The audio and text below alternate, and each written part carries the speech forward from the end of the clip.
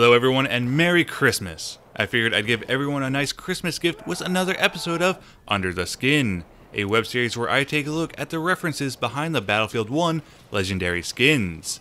I'm Christopher, the video game historian, and with this episode, I'm going to take a look at the Bochkareva skin for the Mosin Nagant, the Hunter skin for the Autoloading 835, the Black Watch skin for the SMLE, and finally, the Le Mort Homme skin for the Sjorgen Inertial.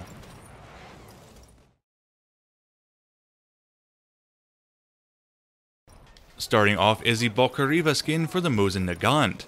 This skin is named after Marie Bochkareva, the founder of the Women's Battalion of Death during World War I. Born in 1889 in Oblast, she was the third daughter of a peasant family. Growing up, she not only suffered abuse from her alcoholic father, but the two men she would end up marrying would also abuse her. She left her first husband, Afansi Bochkareva, whom she worked with at a construction yard, due to him physically abusing her. She would leave him to remarry another man who also ended up being abusive, but this time she would leave him and join the army. She was enlisted into the 25th Reserve Battalion in 1914, and despite facing sexual harassment and ridicule from her fellow soldiers, they would in time begin to respect her. Throughout the course of the war, she would creep into no man's land over 100 times to rescue wounded soldiers, for which she was decorated three times for. After the Tsar abdicated his throne, she would petition Alexander Kerensky in creating a women's battalion. Within a month, the battalion had nearly 300 women who were all fighting their first battle near Smorgon. When the Bolsheviks rose to power, she was heavily opposed to them, which put her life in danger. Her battalion was disbanded, and afterwards, she fled from Russia to seek help abroad. She would return in late 1918 in hopes of forming another women's army to fight the Bolsheviks, but this ultimately failed. She would be captured, stripped of her uniform, and eventually executed by firing squad in 1920.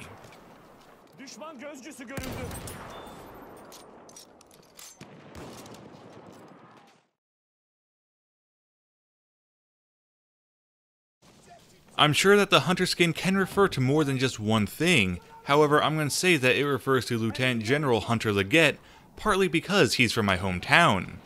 Born March 21, 1857, in Reading, Pennsylvania, he would go on to graduate West Point in 1879 and was swiftly assigned to the 5th Infantry as second lieutenant.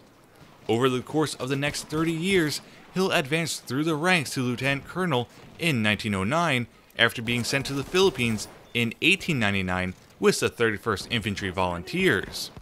In 1911, Liggett will be given command of the 4th Brigade 2nd Division in Texas City, Texas, and in 1916, he'll be sent to the Philippines once again for a one year tour with the Provisional Infantry Brigade.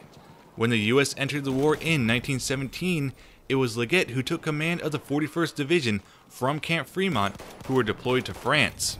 By January 1918, when the US soldiers were being mobilized in France, General Pershing created the first American Army Corps, which consisted of Liggett's 41st. Liggett would be placed in command of the 1st Corps, which fought at Belleau Woods, Cantigny, the Marne on both the offensive and defensive end, and was there in the Argonne Forest when the Germans were beaten. After the war, he would return to the States, where he would retire from service in 1921 and passed away in 1935.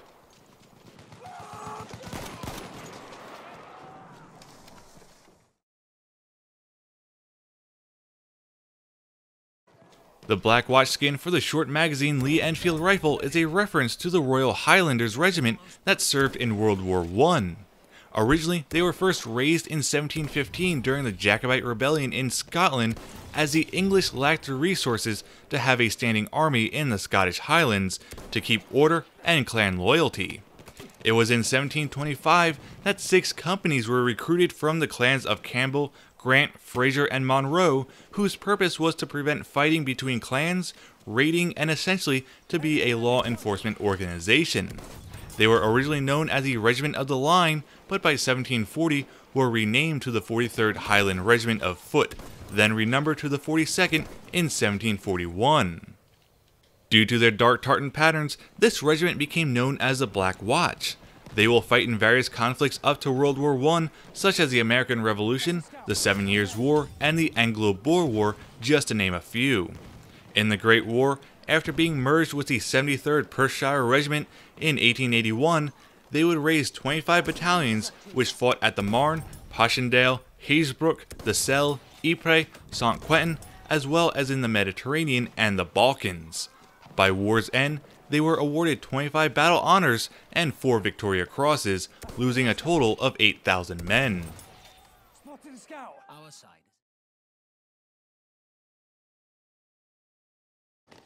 The final skin, Le Mort Homme for the Sjorgen Inertial, refers to the hill along the western bank of the Meuse River at the Battle of Verdun, the Le Mort Homme, or the Dead Man's Hill.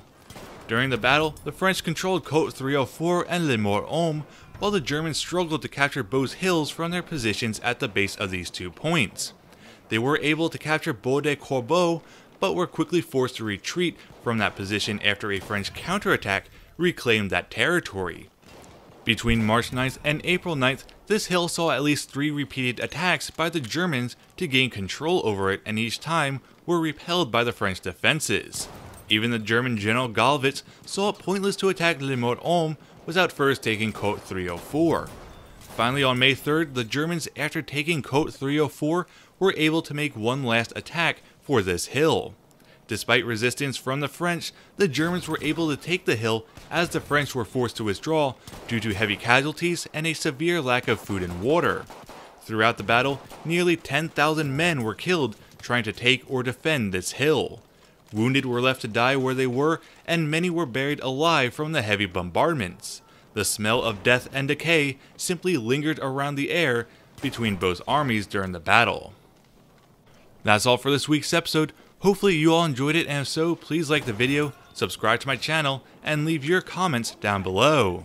Don't forget to follow me on social media with Twitter and Facebook, and if you'd like to play with or against me and others deemed the best of the worst, then check out the Forum Feelers Platoon on Xbox One, PS4, and PC.